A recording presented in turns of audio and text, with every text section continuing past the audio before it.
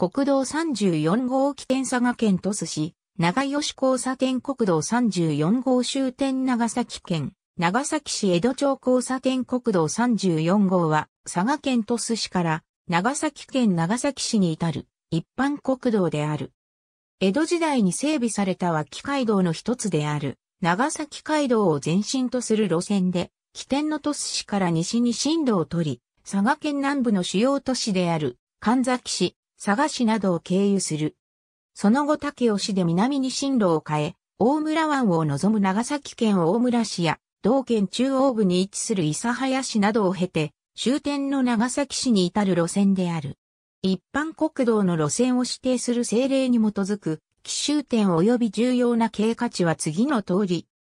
今日では、本州方面より鹿児島へ向かう道が、国道3号、国道3号の都市より分岐して、長崎へ向かう道が、国道34号となっているが、かつては、本州と長崎とを結ぶ道が、長崎街道と呼ばれ、鹿児島へ向かう道は、長崎街道から都市付近で分岐する薩摩街道であった。全線のうち1割程度の路線は4車線以上の道路であるが、その他は全線2車線である。長崎市から諫早、大村、県外を結ぶ幹線道路であるため、竹尾市東園議長の区間を除き、交通量は多い。長崎市内では、交通処理能力を上回る交通量であり、朝、夕の通勤時間帯では、慢性的な渋滞に悩まされている。また、佐賀県内でも同様に特に交通量の多いと寿司佐賀市にかけての区間の内と寿司から神崎市までが片側一車線であるため、慢性的な渋滞に悩まされている。